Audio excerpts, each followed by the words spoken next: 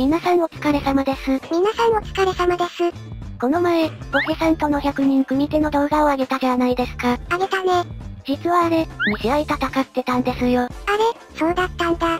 2試合くらい、あの1本の動画にまとめればよかったのに。最初はもちろんそのつもりでしたが、1試合目が27ターンにも及ぶ長期戦で時間が長くなりすぎちゃったんですよね。まあ色々あって長くなったけどさ、長いとこザクザクカットすればよかったじゃん。それでも良かったかもしれませんが、多分ボヘさん視点でものすごくカットされるなぁと思ったので、私の視点はしっかりまとめた次第ですね。100人と戦う以上、一人一人に時間かけてられないもんね。そうなっちゃいますよね。ちなみに私視点でもマホイップ戦は何ターンかカットしてます。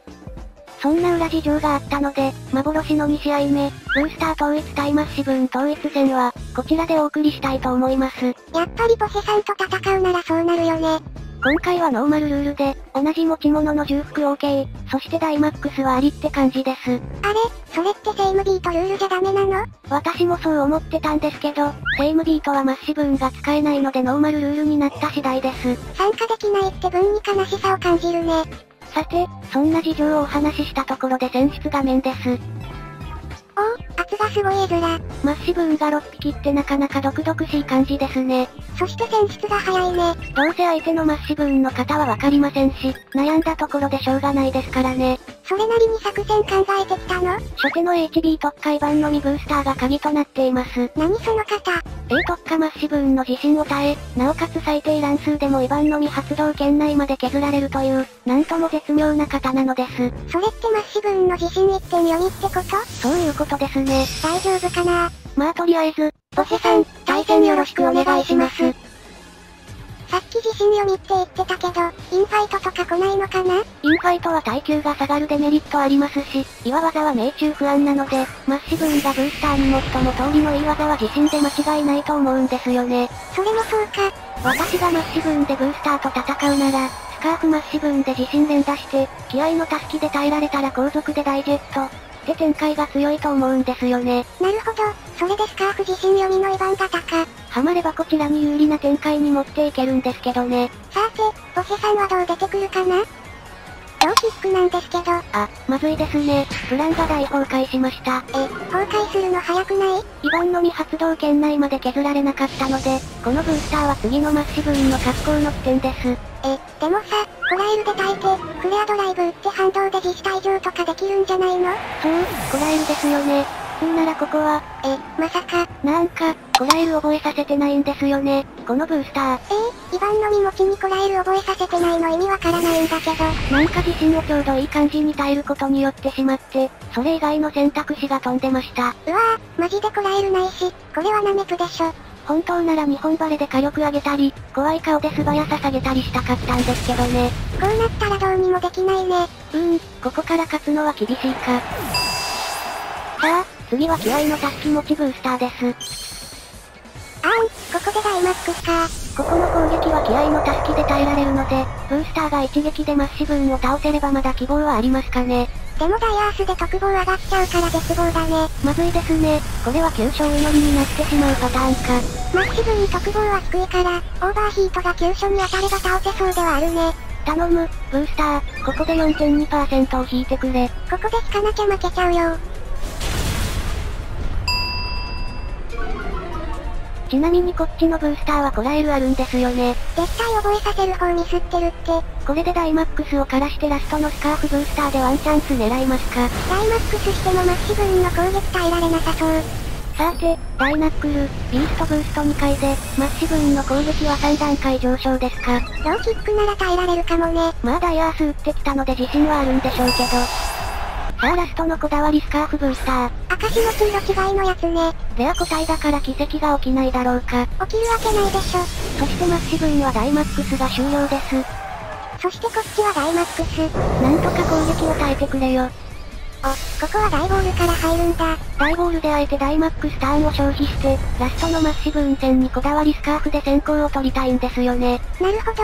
じゃあここの攻撃をしのげば一応勝つ可能性があるね。今一度頼む、ブースター。インファイトならなんとか。ならなかったね。ダメでしたか。いやー、悔しい。これはもっとやりようがありました。ちょっと色々甘かったね。しかし負けは負け、この結果は甘んじて受け入れましょう。ボセさん、対戦ありがとうございました。さて、というわけで反省会です。切り替えが早いね。リベンジすべく対策を練りましょう。もう一回戦うのね。まず、HB 番型はもう一度使おうと思います。マッシブンは先制技がないし、イバンのみで先制できる効果は有効だもんね。さっきはイバンのみが発動しなかったので、警戒はされにくいと思いますし、本意だけど隠し玉になったね。ただし次はこらえる覚えさせておきなよ。もうそこは厳守ですね。あと、こだわりスカーフはやっぱりなしですね。マッシブンもこだわりスカーフを持っていると、ブースターは絶対に抜けませんから。マッシブンは大ジェットでも素早さ上げられるから、なおさらスカーフのメリット薄いよね。ブースター自力で素早さ上げられませんからね。あ、でもノーマルルールだし、過去作のニトロチャージブースター使えるじゃん。そうなんですけど、過去作限定技ありと伝えればニトロチャージがバレますし、こっそり採用して医療をつくのもずるいのでやめておきましょう。せっかく使えるのに、なので、気合のたすき持ちを2匹にします。セイムビートと同じで持ち物重複 OK だもんね。ということで、その辺を加味した結果、3匹のブースターの方はこうなりました。え、全員同じ技構成なの？これら以外に有用な技がなかったので、しかも全員冷静って、どうせ素早さでは勝てないので潔く捨てました。あれ一番下の HB 型も冷静なの？計算したら防御に正確補正をかけなくても、A 特化マッシブーンの自信を耐えられるみたいだったので、なるほどね。一応合理的にこうなったんだ。さあ、対策を練ったところで、いざ再戦です。ボセさんも付き合ってくれるんだね。編集で忙しいところ申し訳なかったです。どうもすみませんでした。まあしかし、再戦するからには勝たせてもらいましょう。手加減無用だね。今度こそブースターたちでマッシブーンを焼き払ってやります。本来有利なタイプ相性の差、分からせてやりますか。さあ行くぞ、精鋭のブースターたち。では今一度、ボセさん、対戦よろしくお願いします。あれ ?BGM これなんだ。伝説2が良かったのですが、間違えて伝説3にしちゃいました。まあ、ある意味剣立てのマッシブーンの BGM だしいいんじゃない？じゃあそういうことで、ボセさんはまた色違いのステロイドくんだね。目には目を、こちらも色違い、しかも赤し持ちのブースターで対抗です。レアさだけなら勝ってるね。だけ、ですか。初手のブースターは気合のたすき持ちだよね。そうですね、HB ブースターでは初手ダイアースに対応できないので、タスキブースターで攻めていきます。お、前回はローキックだったけど、今回は岩石封じできたね。ブースターにはこっちの方がダメージ入りますからね。しかし返しのオーバーヒートでマッシブーンを倒せ、え、なんですかこれ？おっかのみだ。ブースターネタの持ち物持たせてるね。なるほど、一応対策はしてきているわけですか。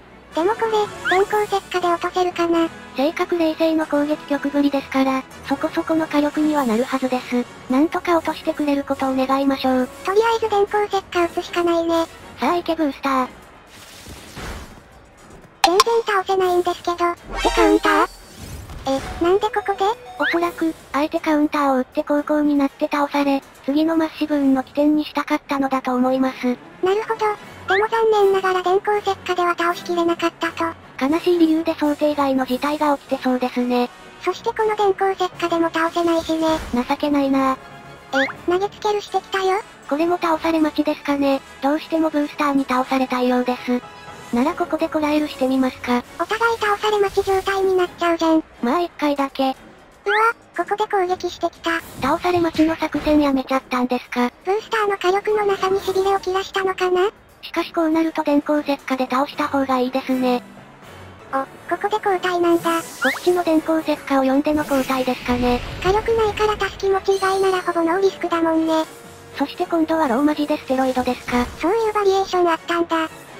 そしてここは地震で退場ですね。実質一匹倒したも同然だし、仕事は十分だね。お疲れ。いい歩きだったぞ。で、マッシブーンの攻撃が上がっちゃうわけだけど、どうする？そうですね。ここでマッシブーンをダイマックスさせてきそうなので、こちらも HB ブースターをダイマックスさせて応戦したいと思います。気合の助けないけど、攻撃耐えられるの？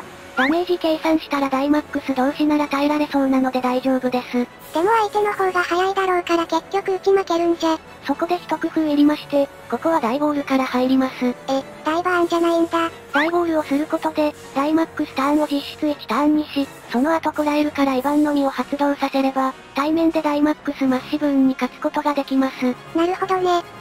あれ？でもこれポシェさんダイマックスしてなくない？おーっと、ダイマックスここじゃなかったのか。大丈夫なのこれ。まあまあ、このマッシブンを倒すなら、どっちみちこちらはこの動きをしないといけないので OK です。タスキじゃないならこうするしかないもんね。さあ、ここは大バーンを打っていきます。その前に自信を耐えないと。ふう、とりあえず耐えたね。いざ、返しの大バーン。これは耐えられないでしょ。まずは5つ目のマッシブンを撃破です。これで天候も晴れたから、この技の火力も上がるね。晴れなら無理してオーバーヒート打たず、状況次第で火炎放射でもいいですね。とりあえず悪くない展開かも。そしてポケさんは虫の粋なマッシブンを出してきましたね。文字通りってやつね。そしてここ、マッシブンの方が早いので、電光石火で倒したいところです。一旦大ボールでターンを潰してから勝負だね。そうですね。できればポケさんのダイマックスも一緒にからしたかったのですが、ポケさんにはダイマックスを温存されちゃったね。それが今後の展開にどう響くか、その前に、このマッシブン電光石火で落ちるよね。さすがに落ちると信じたいですね。さっきは予想の2倍くらいダメージが少なかったからさ。この電光石火で倒せないと負けなので、落としてもらうしかないです。まずはしっかり落として、ブースター。そのための A130 だ。よしよし、ちゃんと倒せましたね。よかったよかった。さて、いよいよラスボス登場ですね。ここはダイマックスだろうね。そうですね。しかしこちらには幸いにも、イバンの実が残されています。じゃあ、とりあえずここはコラエルだね。前回忘れていたコラエルですが、今回はしっかり決めましょう。マッシブンはやっぱりダイマックスか。こいつをブースターに引きがかりで仕留めれば勝利です。頑張ってよ、ブースターたち。さあ、まずはコラエルで HP を削ります。コラエルは何回か見せてるけど、イバンは警戒されるのかな？イバンの実を考慮するなら、次は大ボールをしてくるはずですね。変化技があるならそうだね。イバンのみ警戒しないでほしいな。これは次のターンが一つ山場ですかね。そうなるね。こっちはオーバーヒート打つの？ここは悩ましいのですが、オーバーヒートは外しが怖いので、火炎放射でいきます。後ろに気合のタスキブースターもいるもんね。さあ、あとは大ボールが来るのかどうか。まずはイバンのみが発動。通ってくれよし、大ボールしてこないですね。とりあえずここはセーフだね。え、大アイスですか？これは一体？天候を変えに来たのかな？そうか、スリップダメージと大ボールで気合のタスキを対策できるのか。でも大ボールはないはずじゃ。イバンのみを想定していれば大ボールするって話なので、大ボールが絶対ないということにはならないんですよね。そっか、ボセさんがイバンのみ想定してなかったら、そもそも大ボールしないか。ただし次はあれば絶対大ボールしてくる場面です。あるのかな？どうかな？次のブースターは気合のタスキ持ちで、特攻に特化させてるので、攻撃技が来ればそれを耐え、火炎放射で倒せるのは間違いないと思います。ボセさんが攻撃してくれば勝ち、大ボールしてくれば負けってことか。そういうことですね。あとは運を天に任せ、火炎放射を押します。なんだかんだでギリギリの戦いにもつれたね。ちゃんと対策を練れば、マッシブン軍団に勝てるということ、ここで証明したいですね。さて、どうなるか。ダイアースだ。やった、大ボールはなかったんだね。これは嬉しい展開です。まずはこのダイアースを気合のタスキで耐えましょう。最後に気合のタスキ持ち取っておいてよかった。こだわりスカーフ採用しなかったのは正解でしたね。あとは倒すだけだよ、ブースター。いけーやったー。やりましたね。リベンジ成功です。対策した甲斐があったね。ボセさんの大ボールの有無で勝敗が分かれたいい勝負でした。ギリギリの戦いだったね。ボセさん、対戦ありがとうございました。リベンジはいつでも受け付けますよ。勝った途端偉そうにしないで。